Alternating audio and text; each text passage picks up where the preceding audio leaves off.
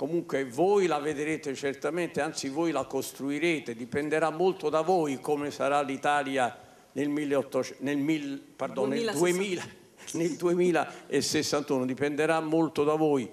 Quello che io posso più che vedere augurarmi è che sia un'Italia più serena, più sicura di sé, un'Italia che sappia essere consapevole delle sue grandi tradizioni, perché noi siamo eredi di uno straordinario patrimonio storico, culturale, artistico, ambientale, dobbiamo difenderlo, tutelarlo, valorizzarlo e dobbiamo saperlo coltivare perché il mondo questo si aspetta da noi, da, da tutte le parti del mondo si guarda all'Italia per questa nostra tradizione, per questo nostro patrimonio e nello stesso tempo bisogna che sia un'Italia,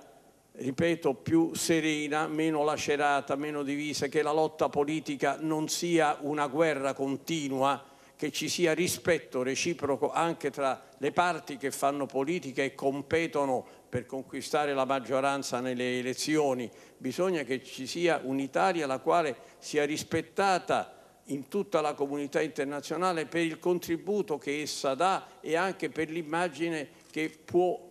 dare di sé, immagine sul piano culturale, sul piano civile e sul piano morale. Mi auguro che sia così l'Italia del 2061, datevi da fare sin da ora perché sia realmente così.